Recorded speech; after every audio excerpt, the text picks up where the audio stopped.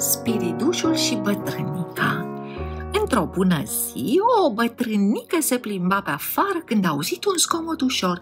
Poc, poc, Mă întreb ce poate fi, a zis bătrânica. S-a furișat în spatele unui copac și de acolo, spre marea ei surpriză, a văzut un spiriduș îmbrăcat în haine verzi. Acesta lovea cu un ciocan micuț, făcând pantofi pentru alți spiriduși și zâne mititele. Bătrânica l-a apucat pe spiriduș de gulerul hainei. Te-am prins, domnule spiriduș!" a strigat ea. Într-adevăr, mai prins!"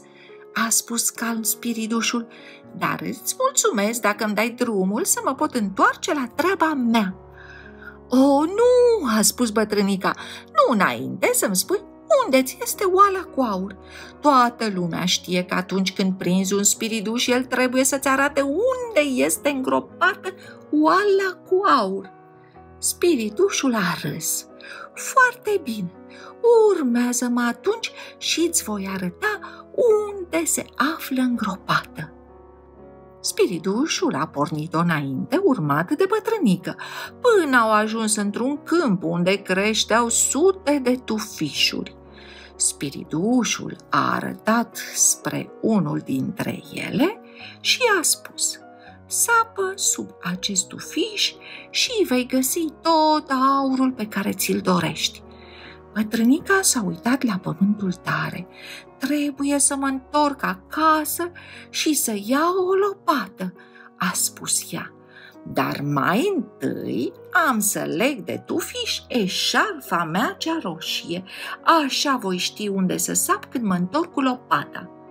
Bună idee, a spus spiridușul cu o sclipire în ochi.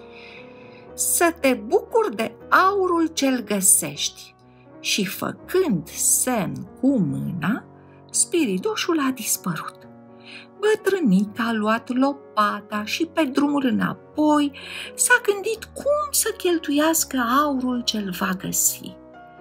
Dar când a ajuns din nou în câmp, ochii s-au mărit de surpriză.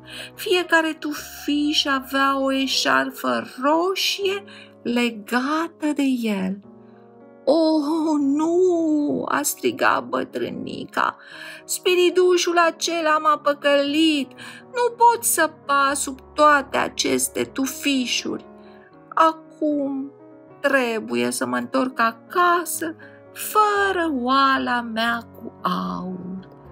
Și asta a făcut.